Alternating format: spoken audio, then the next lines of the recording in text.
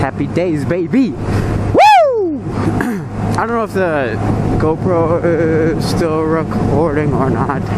Yeah, it is. So basically, last night I put on a 14 tooth sprocket. It's the JT252 14 tooth. That one does fit, but it's not the correct one 100%. The one you want to go with is the JT249 14 tooth sprocket. So I'll repeat that. The correct one for the Grom is the JT249 14 tooth sprocket.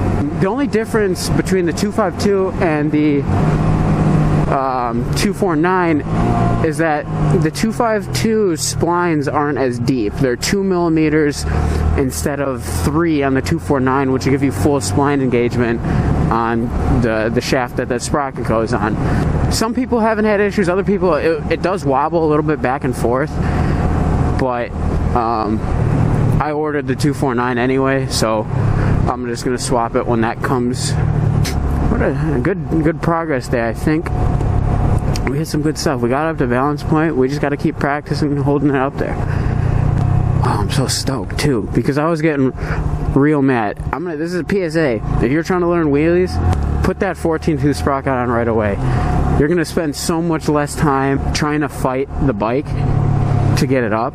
With a 15 tooth, I was revving it. I mean, I was being a pussy because with that one, I feel like you have to. With the 15 tooth, you definitely have to rev it more, and it's that like mental connection where it's like, oh, higher RPMs, it's gonna, it's gonna fucking fly, fling out from under you, which isn't the case because it's a Grom and it has nine horsepower. I hate these Ford Explorers because I think they're police cars, but they're not.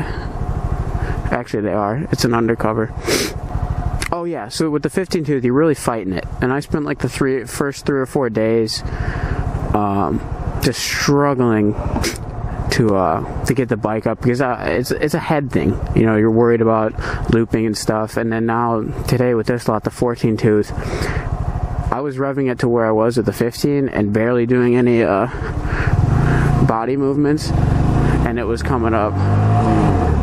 No problem. And I don't know, maybe because it, it's the fifth day that I've tried wheelies, that little adrenaline rush where you get it all the way up and you kind of freak out, that kind of went away. Um, there were a couple times I will say that it did, uh, you know, I got it up a little quick and I came off the gas and I flipped out a little bit. But my biggest thing was that taking my foot off on the brake pedal side, I was able to keep that there, even though maybe I wasn't using it, but I was still there instead of having it flail off, which is just good to have that reaction. And it'll be just over time where you're uh, you learn that uh, just to get that reaction and keep it there. It'll come with time. That's a decent place. Yeah, I tried to, to wheelie this in the grass and that wasn't really happening over there.